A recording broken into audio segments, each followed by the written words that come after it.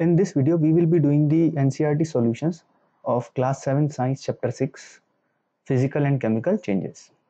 तो question one है।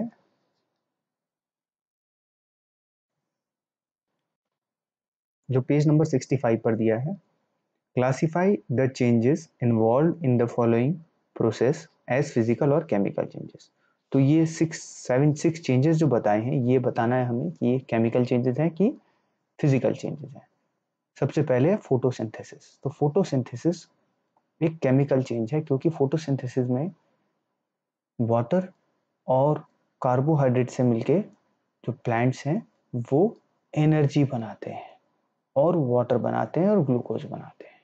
तो फोटोसिंथेसिस में नए सब्सटेंसेस फॉर्म हो रहे हैं, इसलिए ये एक केमिकल चेंज है।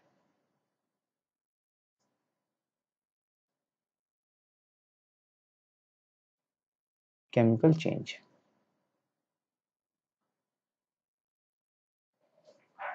सेकेंड है डिजोल्विंग शुगर इन वाटर तो डिजोल्विंग शुगर इन वाटर एक फ़िज़िकल चेंज है, जो हमने पहले भी पढ़ा है।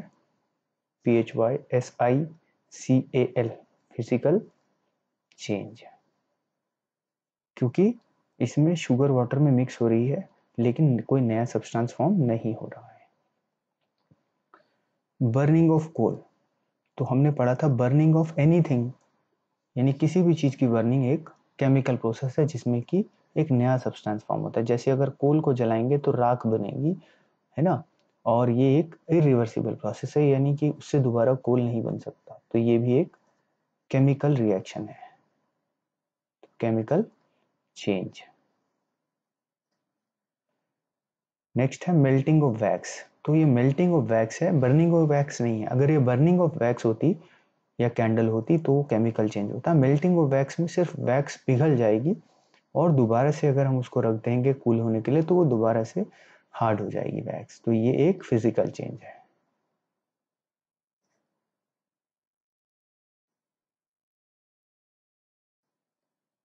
नेक्स्ट है beating aluminium to make aluminium foil तो एल्यूमिनियम से एल्यूमिनियम फॉइल बनाने का प्रोसेस भी एक केमिक फ़िज़िकल चेंज है, क्योंकि इसमें कोई नया सब्सटेंस नहीं बन रहा है, सिर्फ़ एल्यूमिनियम की फॉइल बन रही है, यानी पतला हो रहा है। तो ये एक फ़िज़िकल चेंज है।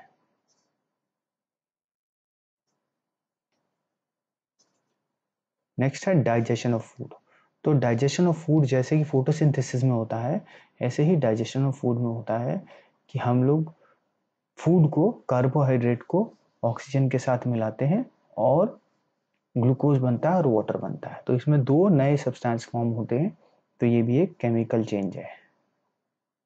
तो डाइजेशन ऑफ़ फ़ूड एक केमिकल चेंज है। केमिकल चेंज तो ये आंसर हमने आपके लिए लिखे हुए हैं। क्वेश्चन टू है state whether the following statements are true और false case a statement is false write the corrected statement in your notebook तो हमें ये बताना है कि ये स्टेटमेंट्स जो हैं, ये ट्रू है कि फॉल्स हैं? तो पहला पढ़ते हैं cutting a log of wood into pieces is a chemical change तो एक वुड को अगर हम कट करते हैं पीसेस में वुड लॉग को तो क्या वो केमिकल चेंज है? नहीं. इट्स अ फॉल्स स्टेटमेंट वो एक फ़िज़िकल चेंज है. तो cutting of a log of wood into pieces is a physical change ऐसा हमें लिखना होगा. हम इस आंसर्स को देखेंगे. सेकंड है। Formation of manure from leaves is a physical change. तो जो मेन्योर बनती है लीव्स से, अगर टूटी हुई लीव्स जो हैं, पत्तियाँ हैं, उनसे अगर हम खाद बनाते हैं, मेन्योर बनाते हैं तो वो एक फ़िज़िकल चेंज है लिखा है, लेकिन वो एक केमिकल चेंज है। तो ये फॉल्स है। ये एक केमिकल चेंज है। तो हम लिखेंगे formation of manure from leaves is a chemical change. Third है C iron pipes coated with zinc do not get rusted easily जो आयरन पाइप्स के ऊपर हम जिंक की कोटिंग कर देते हैं, यानी गैल्वनाइज करते हैं तो वो रस्ट नहीं पकड़ते आसानी से तो ये एक ट्रू स्टेटमेंट है। तो ये सही है। डी देख लेते हैं इसका। Iron and rust are the same substances iron और रस्ट दोनों एक ही चीज़ है, ऐसा नहीं है, ये फॉल्स है। आयरन अलग है और रस्ट अलग चीज़ है, एक अलग सब्सटेंस है जो कि तब फॉर्म होता है जब हम रस्ट आयरन को ऑक्सीजन या एयर में छोड़ देते हैं और उसमें मॉइस्चर आ जाता है या पानी लगता है उसको तो। तो इसलिए ये फॉल्स है। ई e है condensation of steam is not a chemical change ये ट्रू है, क्योंकि स्टीम और वाटर में सिर्फ़ स्टेट का फ़र्क है अदरवाइज़ वो सब वाटर हैं। तो जो कंडेंसेशन कंडेंसेशन होता है स्टीम का तो उसमें कोई केमिकल चेंज नहीं होता है, सिर्फ़ फ़िज़िकल चेंज होता है स्टेट का चेंज होता है, इसलिए ये ट्रू स्टेटमेंट है। तो ये हमारा आंसर है फ़र्स्ट का। Cutting a log of wood into pieces is a physical change ये हमको लिखना है अपनी नोटबुक में। ऐसे ही सेकंड भी फॉल्स है। Formation of manure from leaves is a chemical change ये हमें नोटबुक में लिखना है। सी ट्रू है, इसमें कुछ चेंज नहीं है। डी फॉल्स है, डी में भी ऐसे लिखना है। Iron and rust are different substances. Rust is iron oxide. तो हम अगर लिखना चाहें तो लिख सकते हैं इसको, और अगर नहीं लिखना चाहे तो ज़रूरी नहीं है, हम यहाँ तक आंसर लिख सकते हैं। Iron and rust are different substances. और ई पार्ट ट्रू है तो इसमें कोई चेंज नहीं है। नेक्स्ट क्वेश्चन है, क्वेश्चन थ्री, जो कि पेज नंबर सिक्सटी सिक्स पर है। Fill in the blanks. In the following statements तो स्टेट इन स्टेटमेंट में फिल इन द ब्लैंक्स भरना है। When carbon dioxide is passed through lime water, it turns milky due to the formation of, जब हम carbon dioxide को हम lime water से पास करते हैं, हमने देखा था जब हम विनेगर और बेकिंग सोडा को मिक्स करते हैं तो कार्बन डाइऑक्साइड फॉर्म होती है और उसको हम जब लाइम वाटर से निकालते हैं तो वो मिल्की हो जाता है सॉल्यूशन तो क्यों होता है? क्योंकि कैल्शियम कार्बोनेट बनता है। Calcium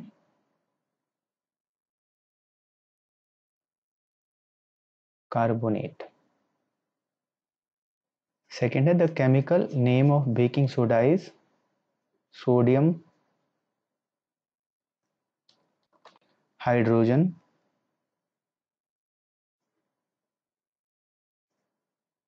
carbonate तो जो बेकिंग सोडा उसका केमिकल नेम है सोडियम हाइड्रोजन कार्बोनेट सी है two methods by which rusting of iron can be prevented अगर हम आयरन की रस्टिंग प्रिवेंट करना चाहते हैं तो उसके दो तरीके हैं। एक तो उसको हम या तो पेंट कर दें,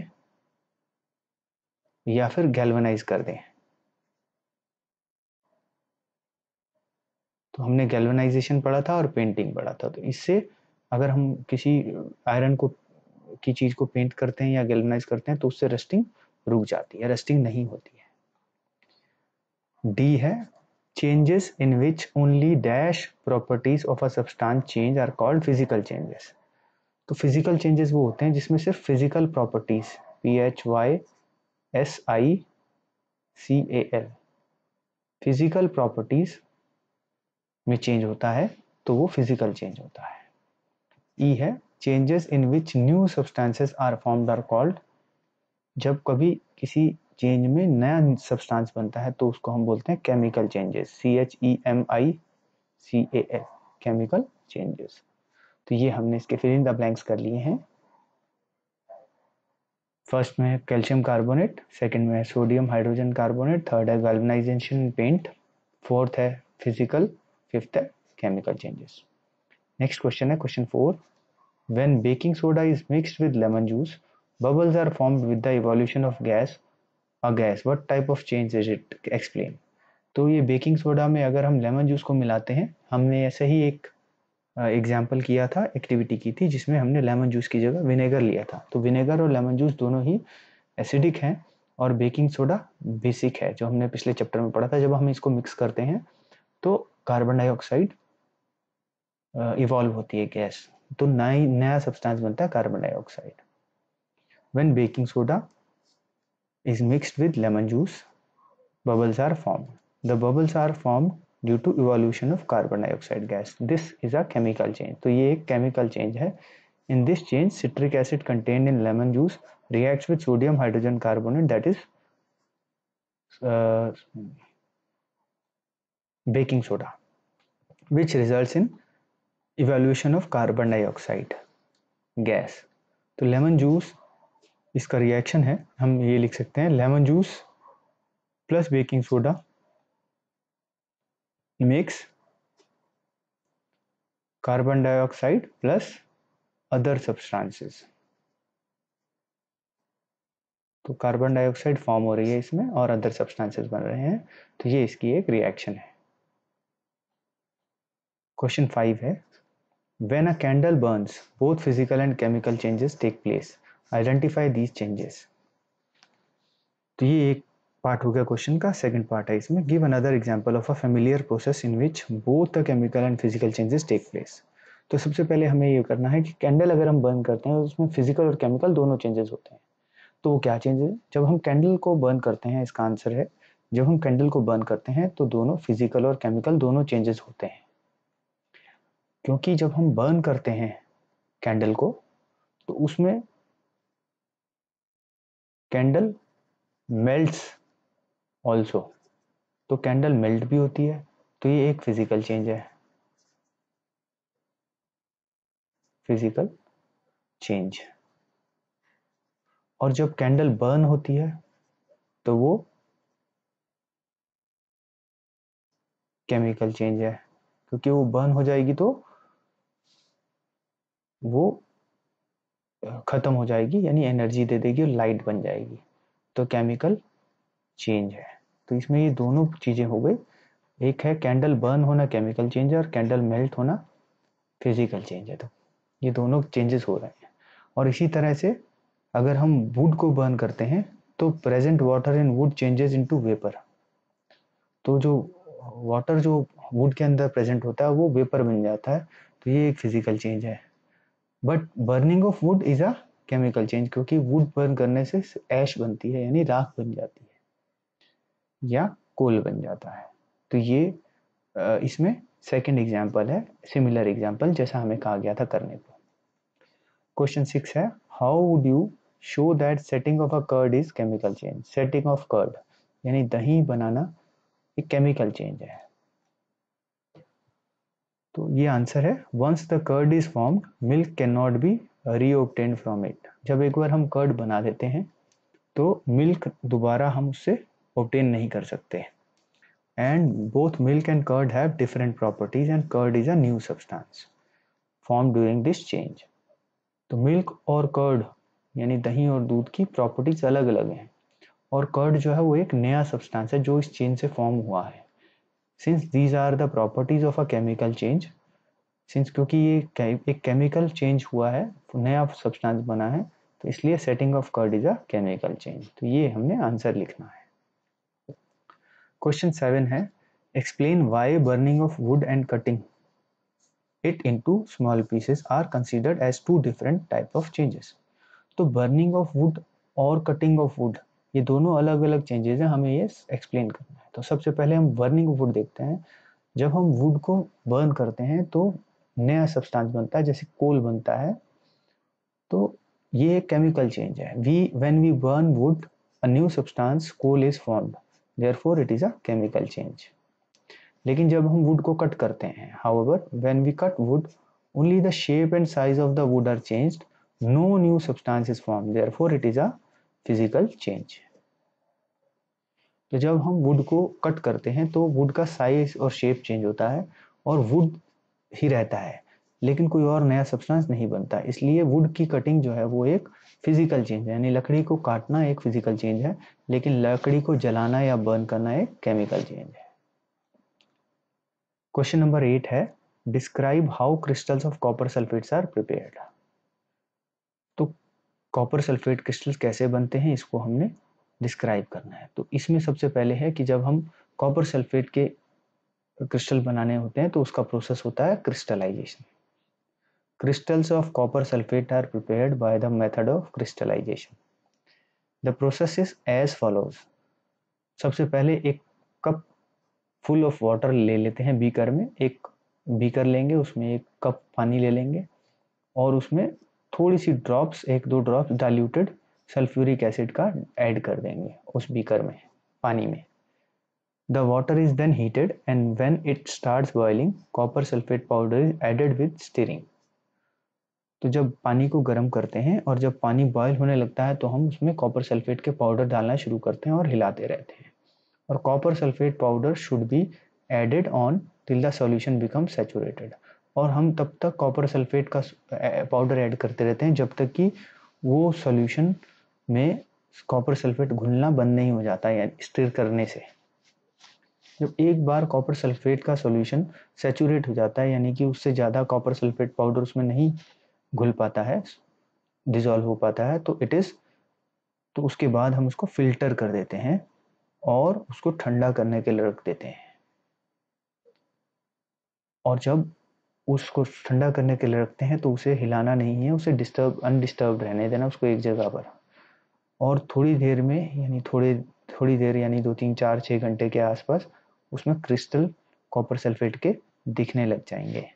आप ये इसमें देख सकते हैं, ये बीकर में नीचे कॉपर सल्फेट के क्रिस्टल्स ये आप देख सकते हैं, इसे हम लार्ज करके दिखाया हुआ है। ये क्रिस्टल जो है, ये फॉर्म हो गया है। तो ऐसे हम क्रिस्टल बना सकते हैं कॉपर सल्फेट के। उसको, क्योंकि हम उसको बॉईल करते हैं तो उसमें गर्म पानी में ज़्यादा डिज़ोल्व हो सकता है कॉपर सल्फेट लेकिन एक बार जब कूल हो जाता है तो उसके बाद जो उसका सेचुरेशन पॉइंट है, वो कम हो जाता है डाउन हो जाता है, जिसकी वजह से जो एक्स्ट्रा कॉपर सल्फेट है, वो क्रिस्टल बन जाता है पानी के साथ मिलके। क्वेश्चन नंबर नाइन है। Explain how painting of an iron gate prevents it from rusting तो हमें एक्सप्लेन करना है कि अगर हम आयरन गेट को पेंट करते हैं तो वो उसे रस्टिंग यानी जंग लगने से बचा सकता है। तो rusting is added by both moisture that is water and air तो जो रस्टिंग होती है, यानी जंग लगता है, वो दो कारण से लगता है। एक तो हम वाटर या उसको मॉइस्चर मिल जाए, चीज़ को, और दूसरा ऑक्सीजन या एयर मिल जाए। तो जब हम पेंट कर देते हैं आयरन गेट को when by painting an iron gate we prevent its contact from air and moisture present in the atmosphere तो जब हम आयरन गेट को पेंट करते हैं तो हम बेसिकली उसे आयरन को एयर और मॉइस्चर के कांटेक्ट में आने से बचा देते हैं, जो एटमॉस्फेयर में है और इसलिए rusting is prevented hence rusting is prevented इसलिए रेस्टिंग उसमें आयरन के गेट में नहीं होती है, यानी उसमें जंग नहीं लगता है। क्वेश्चन नंबर टेन है explain why rusting of iron objects is faster in coastal areas than in desert तो हमें ये एक्सप्लेन करना है कि क्यों जो कोस्टल एरियाज़ हैं, जहाँ जो सी या समुद्र के आसपास के एरियाज़ हैं, जहाँ सी होता है या और उन एरियाज़ में रस्टिंग जल्दी होती है, यानी जंग जल्दी लगता है और डेजर्ट्स में जंग देर से लगता है। क्योंकि जब कोस्टल एरियाज़ में जो एयर एटमोसफियर होता है, उसमें ह्यूमिडिटी होती है, यानी मॉइस्चर कंटेंट ज़्यादा होता है, पानी एयर में ज़्यादा होता है। Both air and moisture are required for rusting to take place तो रस्टिंग के लिए, यानी जंग लगने के लिए एयर और मॉइस्चर दोनों की ज़रूरत होती है। In coastal areas the quantity of moisture present in air is more than that in deserts तो कोस्टल एरियाज़ यानी सी के आसपास के एरियाज़ में, जो मॉइस्चर होता है एयर में, वो ज़्यादा होता है क्योंकि पानी वहाँ पर ज़्यादा इवापोरेट होता है, इसलिए एयर में ज़्यादा पानी होता है मॉइस्चर होता है। लेकिन डेजर्ट्स में कम होता है। तो डेजर्ट्स एरियाज़ में amount of moisture is in air is even lower तो मॉइस्चर का कंटेंट डेजर्ट्स में बहुत कम होता है क्योंकि वहाँ पानी होता ही नहीं है। तो इसलिए इवापोरेशन भी नहीं होता है। तो वेपर नहीं बनता है एयर में नहीं होता है। Therefore rusting of iron objects is faster in coastal areas than desert तो कोस्टल एरियाज़ में इसलिए रस्टिंग ज़्यादा जल्दी होती है और डेजर्ट्स में देर से होती है। Question eleven is the gas we use in the kitchen is called liquefied petroleum gas जो गैस हम घर में यूज़ करते हैं किचन में, वो एल पी जी होती है liquefied petroleum gas in the cylinder it exist as a liquid when it comes out from the cylinder it is it becomes a gas तो चेंज ए होता है then it burns change B तो the following statements pertain to these changes choose the correct one तो ये दो change हो रहे हैं। एक तो जब वो गैस सिलेंडर में होती है तो लिक्विड होती है। जब बाहर निकलती है तो गैस होती है। तो ये एक चेंज ए है। और जब वो गैस बर्न होती है तो चेंज बी है। तो अब हमें ये करेक्ट आंसर बताना है। फ़र्स्ट है process A is a chemical change तो प्रोसेस ए क्या है? कि जब वो लिक्विड फॉर्म में होती है और गैस फॉर्म में बन जाती है जब बाहर निकलती है तो। सिलेंडर के अंदर लिक्विड फॉर्म में होती है और जब सिलेंडर से बाहर निकलती है तो वो गैस फॉर्म में हो जाती है। तो ये एक स्टेट चेंज हो रही है, बाकी there is no substance being change तो ये इनकरेक्ट है। ये करेक्ट नहीं है, क्योंकि ये केमिकल चेंज नहीं हुआ, ये फ़िज़िकल चेंज हो गया। सेकंड देखें process B is a chemical change तो प्रोसेस बी क्या है? जब वो गैस बर्न हो रही है। तो किसी भी चीज़ को अगर बर्न करते हैं तो कुछ नया सब्सटेंस बनता है तो ये करेक्ट है केमिकल चेंज थर्ड देखें both process A and B are chemical changes तो ए और बी दोनों केमिकल चेंज है, लेकिन वो गलत है। ए केमिकल चेंज नहीं है, इसलिए ये भी इनकरेक्ट है। फोर्थ है none of these processes is a chemical change वो कह रहा है कि कोई भी दोनों में से ना ए, ना बी, दोनों ही केमिकल चेंज नहीं है। तो ये भी गलत है क्योंकि बी एक केमिकल चेंज है। तो हमारा आंसर हो जाएगा बी। सेकंड हमारा सही राइट आंसर है। Process B is a chemical change तो process B is a chemical change this is a correct answer question twelve देखते हैं